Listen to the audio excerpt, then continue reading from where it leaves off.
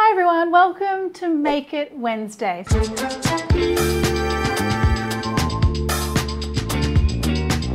So this is the episode where I kind of choose what you're cooking for dinner, if you like. Because you know, Wednesdays we get stuck in a rut, we're like, what am I cooking for dinner? Well, you can come here, you can either watch now and cook this tomorrow, or you could save the video and we could cook it together when you've got all the ingredients. Anyway, what are we cooking today? We are cooking a creamy, spicy Korean style ramen and it's all gonna get done in like less than 15 minutes if I don't talk too much. So let's get going on that straight away.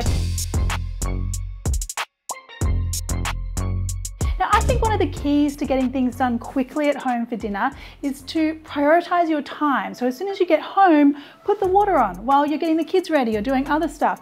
We need to boil eggs, noodles, and some vegetable here. So getting the water started is a good way to get a head start. So I'm gonna put my eggs in here. Now, a little trick here to get the yolks centered in the middle of your eggs. Actually, don't do this where the egg breaks. Be a bit more gentle with your eggs. But if you pop them in gently and then just swirl them, that vortex in the water will make the egg yolks go into the center of the egg rather than like sticking to the outside. Just makes them a little more pretty. I think you can still do things in a hurry but make them pretty. So I'm gonna set the timer here, six minutes for like a soft boil. One of the things I love about this episode is that I get to talk to you guys. So when this episode is released, I'm gonna be down there in the comments saying hello. So please do tell me where you're watching from. What are you doing? Is it morning? Is it nighttime? What recipes of mine have you cooked? What recipes would you like to see me cook? All of those things. So please do have a chat and I will come in there and, and we'll get chatting. okay, now I'm gonna do the, um, the broth next. So this is a kind of like Cheats version of a tonkotsu ramen. Now use some store-bought chicken broth and you know what? Like I'm so lowbrow when it comes to weeknight cooking. That is literally just chicken stock cubes that I've rehydrated with some hot water. Not even the fancy stuff in the bags or the Tetra Paks or whatever. Just gonna get that heating up. And to give us that like creamy flavor and look, I'm gonna use some unsweetened soy milk. So this is my little trick for giving you that tonkotsu kind of vibe without the hours of simmering. So we're gonna let that come up to a boil. In the meantime, I'm gonna get some ingredients ready for my spicy pork, no pork, I'm doing chicken today, my spicy chicken topping. So it's got these lovely fresh ingredients here as well. And the reason I'm using mince is that you don't need to do any meat chopping. I find that saves a lot of time during the week. So I just need to chop a few aromatics though. I've got my ginger here, and we are filming this live cooking time so that you know that I'm not cheating with the amount of time that this takes for you to cook. And if you're cooking along with me right now, I hope you've got all your bits and pieces going. You should be up to the same stage as me. And I'm gonna take my little grater here, some ginger going. I love cooking with ginger and garlic during the week. I just feel like at the end of the day, I want something comforting and nourishing and ginger always gives me that kind of vibe. Got my garlic as well. Now, if you want an easy way to peel your garlic, you can just get a mortar and give those a light crush and the skins just come right off. I love garlic, as I said, so I'm using quite a lot of garlic. You could obviously tone it down a little if you're, you aren't quite the garlic fiend that I am. Okay, a couple more things to slice here. So that's gonna be for my pork. Pork, I keep saying pork. I'm doing chicken today. I do usually do this with pork at home. I think that's why I keep saying pork, but I wanted to use chicken because I think chicken mince is one of those things at the supermarket that's fairly cheap at the moment and probably a bit underused in recipes. So I wanted to use that one today instead of the pork. And then I've got some bok choy here. You could use broccolini. I just like to add some greens whenever I'm doing my weeknight dinner as well just thin them out a little. So just those bulbs, just slice them in half. If they're really thick, you could slice them into quarters as well. Oh, there's my eggs. Sound always freaks me out. I feel like, oh, I've got to wake up. like it's the morning. Okay, let's get these out. I'm just gonna rinse them off actually in the sink to cool them down. See how well I've done on these eggs. You want them just like, still soft, but just set enough so you can peel them. Now I know I do have a lot of different ramen recipes on my channel. Why don't you let me know if you've cooked any below? Uh, I love to hear from you guys. I love it when you tell me what you've cooked of mine. So please do let me know. And again, please do say hello. And if you haven't subscribed actually, why not push that little subscribe button and the bell so that when I do another Make It Wednesday, uh, you will get notified. Or you could just think, oh, it's Wednesday. Maybe I'll check if Marion has a Make It Wednesday video. Either way. All right, I'm gonna move this water over here and we can get started on our chicken topping. So I wanna get this heating up wait for that wok to heat up. Now, one of the things that I think is amazing about wok cooking, particularly when it comes to mince, is that in Western countries in particular, I don't find this so much when I'm living in Thailand, but I find the mince meat is like really watery, so that if you're cooking mince in a shallow, uh, deep kind of pan, you can often get a lot of just kind of like insipid liquid, making your whole stir fry very insipid.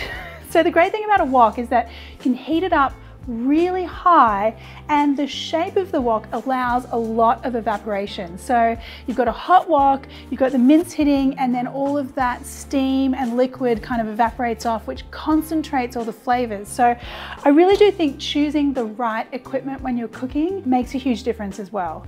So that's probably one of my other little cheats. I use my wok not even just for Asian, you know, stir fries at home. Like it's just one of my best friends. Even just like beautiful seared broccoli with some olive oil and lemon juice. Anyway, it's always sitting on my bench top at home. So I love it, but there's always method to the madness. There's a reason for using it. Uh, now, oil here. The other key thing is to get your wok really hot. I don't know if you can quite see on the camera there, but there is some smoke coming off here. So I know that wok is really nice and hot chicken mince first because I want to give that a nice hard sear without like the garlic or the ginger burning.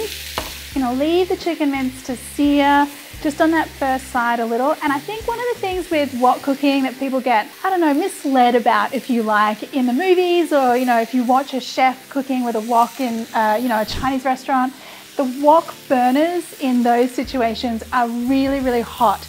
So they can afford to like keep things moving around. It's like, you know, things are tossing in the air and there's flames. That just doesn't happen at home. So you have to give the ingredients time to heat up every time you add them. So at home, wok cooking, you have to be a little bit more patient with. Now you can see because I've left that chicken there for a little while, we already have some nice color and you can see how dry that mince is. So I don't have a whole lot of liquid leaching out there. It's really quite, quite dry, which means I'm gonna get a nice concentrated kind of flavor. Okay, so at this point, my chicken is fairly evenly colored. I don't want a really hard sear here because I want the chicken to kind of melt down into my ramen when I put it on top. Do a little sprinkle of some spring onion there as well. And now to give everything like a really beautiful, spicy, smoky kind of flavor and give it some nice color, I'm gonna use some gochujang. So Korean fermented chili paste, pretty readily available in most Asian supermarkets now. Well, actually Asian supermarkets and regular supermarkets. Mm, color is so nice already. Some soy sauce. All right, so this is smelling really amazing. If you are cooking along with me right now at home, why don't you tell me how you're going? Is everything looking good? I can give this a little taste now and just see if I want to add like any more gochujang, make it a bit spicier or any more soy sauce. Oh no, ah, that's so good. Oh, I did put quite a lot of gochujang in there. That's got quite a nice kick to it. That's yum. That's our chicken topping done. Look, I said chicken instead of pork for once. Oh my goodness. Okay. Okay, so we're nearly there. I don't know what the time is now, but I think we're less than 15 minutes, maybe, hopefully. Um, I'm gonna do some green chili here as well for a garnish. And just while we're waiting, I do have one more thing to do here. It's almost like a, a, seasoning paste that you put in the bottom of the bowl so that when you pour the hot broth on top of it, it kind of like flavors that broth and gives you this really beautiful, fresh, spicy tahini kind of flavor. Now, what am I talking about here with the tahini? So I'm using a Chinese sesame paste. Now I know I said this is a recipe you could cook tonight without any special ingredients. This one I actually keep to hand in my pantry. It's ground sesame paste, but you can just use peanut butter. So I'm sure you would probably have peanut butter in your cupboard, so you can use that or almond paste or almond butter or anything like that. I'm gonna use some chili crisp oil here You could just use plain chili oil as well if that's all you've got. Some vinegar as well. Now just one last little seasoning to add here, just some soy sauce, because I haven't put any salt into the stock that I've made. So we're just relying on the salt that's in the chicken stock. So I do want this mixture to be quite intense and salty. I'm actually using some instant ramen here because I often have this sitting in my cupboard, easy to keep on hand.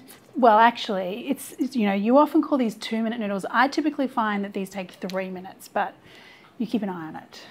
I also like to save little sachets in the two minute noodle packet. Uh, this is like a little vegetable mix. You could, if you wanted to, add the flavoring sachet into your broth if you want to, but there's so much big flavor going on here with the pork and then the seasoning here and everything. I just don't think you really need it. So, and you're gonna see why this kind of all comes together in a minute. So this goes into the bottom of the bowl, kind of not ready for its Instagram close up right yet.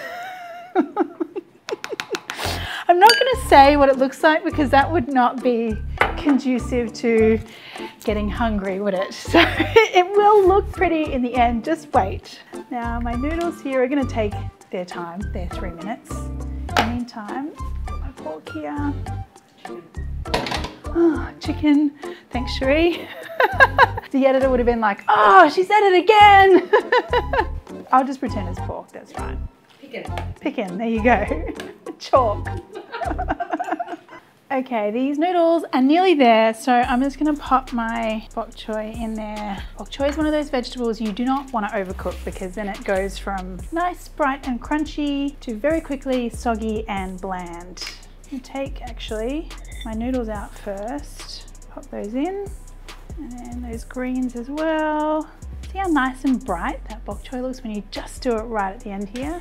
Obviously, if you're uh, doing this for multiples, you just get a bigger pot, put all of them in at once and then divide them up. So this recipe does about four serves, so it is quite a lot. You can get, you know, a lot of this done very quickly. You know what I was thinking? What? I don't think I've ever seen you use choy before. I have used bok choy plenty of times. It's the only vegetable we can get in Noosa. The only Asian in the village. you guys might find this where you live actually. I find it very hard to find a lot or, or, like a big spectrum or variety of Asian vegetables. I love things like choy sum and gailan and kangkong, but I do find that here in Noosa in Australia they're hard to get. So bok choy often becomes a replacement for any green vegetable. okay, now my chicken stock and soy is nice and warm, so I want to pour that into my bowl here. Now you can see some of that lovely, spicy, creamy stuff from the bottom is just coming up to the surface. I'm just gonna give that a bit of a mix in the bottom here, and that'll give us such a lovely depth to that very quick broth that we made.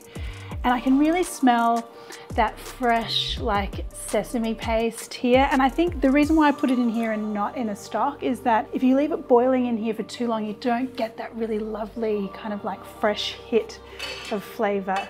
So there's always method to the madness. Okay, let's do the final bits. Some of my pork mixture.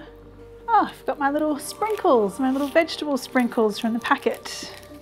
My egg, a few of these chilies, just a little bit of spring onion as well. And I mean, that is a good looking ramen bowl to have made in, I don't know what the time is, but it's gotta be less than 20 minutes or 15 minutes with all the talking.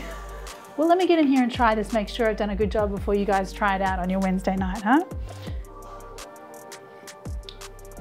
Hmm, that broth is so creamy and savory and lovely. Ah, I love that so much. It just tastes like it's been simmered for hours and it's just literally been a few minutes. So good.